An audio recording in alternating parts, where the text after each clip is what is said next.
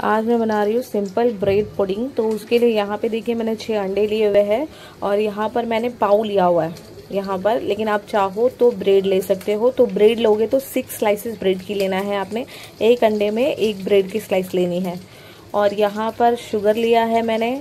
One cup के करीब में मैंने शुगर लिया हुआ है और यहाँ पर आधा लीटर दूध है, इसको मैंने बॉईल करके लिया हुआ है और यहाँ पर वन टीस्पून वनीला एसेंस है। वनीला एसेंस इसलिए है ताकि जो ये अंडे की जो स्मेल है, वो हमें नहीं आती। जिससे को किसी किसी को पसंद नहीं होती अंडे की स्मेल तो वो नहीं आती है। तो वेनीला एसेंस है हाफ़ टी स्पून इलायची पाउडर है और हाफ़ टी स्पून दोनों है ये सिनेमन पाउडर है और दालचीनी पाउडर और नटमेक नटमेक को वो मुझे पता नहीं है नटमेग को क्या बोलते हैं हिंदी में।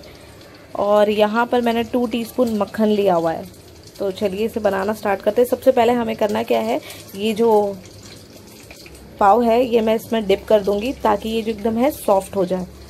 और फिर इसके बाद में मैं अंडा और बाकी सारी चीज़ों को ब्लेंडर में डाल के ग्राइंड कर लूँगी। तो यहाँ पे देखिए, मैं सबसे पहले इसमें डाल रही हूँ शुगर और मैं ये स्ट्रीट स्टाइल ये ज़्यादातर रेस्टोरेंट में मुंबई में ऐसे ही मिलते हैं। ये छिलंडे में इसमें डाल रही हूँ। और इसके अंदर ये वेनीला एसेंस डाल रही हूँ। इलायची powder. Nutmeg and cinnamon powder डाल रही हूँ मैं। और इसके अंदर मैं बटर भी टू टीस्पून मैंने बटर लिया हुआ है, वो मैं डाल रही हूँ। और इसके अंदर ये जो पाव है और मिल्क है, ये भी मैं इसके अंदर डाल दूँगी। अब ये देखिए, मैंने पाव भी इसमें डाल दिया, अभी मैं इसे ग्राइंड कर दूँगी। तो यहाँ पे देखिए, मैंने पीस लिया है इसको, और यहाँ पे मैंने एक टीन लिया है, उसको मैंने ऑयल से ग्रीस कर लिया है। आप चाहो तो बटर से भी ग्रीस कर सकते हो। इसके अंदर मैं ये पोर कर रही हूँ। और अभी मैं इसको, ये कुकर है कुकर के अंदर मैंने एक स्टैंड रखा हुआ है, और उसके अंदर मैं ये टीन अभी रख दूँगी।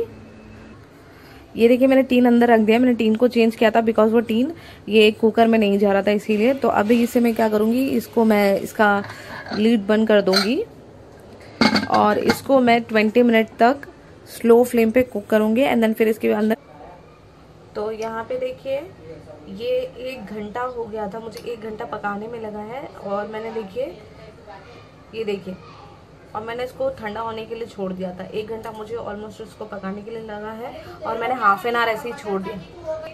तो बस अभी मैं इसको कट करके डिश आउट करके आपको दिखाऊँगी।